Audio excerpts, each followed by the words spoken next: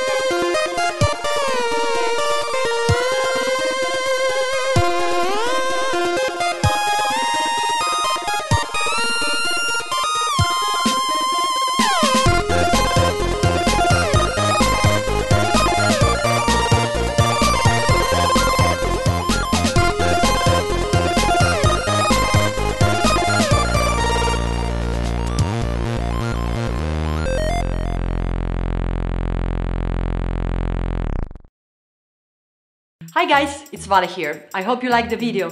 What did you think of the CGI in that video?